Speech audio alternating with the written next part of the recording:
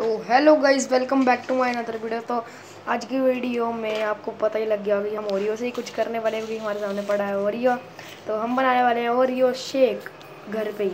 चलो, अब इसको पहले सबसे पहले हमारे को ओपन करना है। रुको, दो मिनट तो गाइस जैसे कि आप देख सकते हो, मैंने इसको ओपन कर लिया।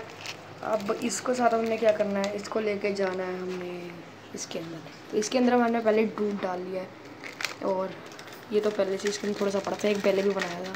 तो अब हम इसमें बिस्किट डालेंगे, इसको थोड़ा सा चूर चूर के मतलब और फिर इसको तोड़ो तोड़ो तोड़ो, और तोड़ो और तोड़ो और तोड़ो और तोड़ो। बस, ख़त्म।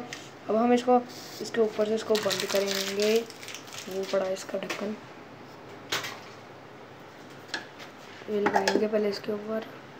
किसी की चीज़ में भी कर सकते हो आप। तो अब इस चीज़ में है ये ब्लेंडर है।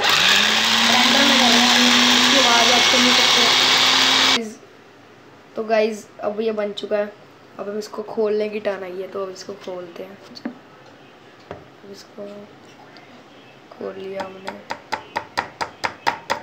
और देख सकते हो कितना अच्छा कलर आया। है अब इसको डाल लेते हैं फटाफट से गिलास में। ये डल रहा ग्लास में आप इसको बर्फ़ भी डाल सकते हो, आपको और भी टेस्टी लगेगा। और चलो गाइस आज की वीडियो में इतना ही। चलो अब हम इसको पीते हैं।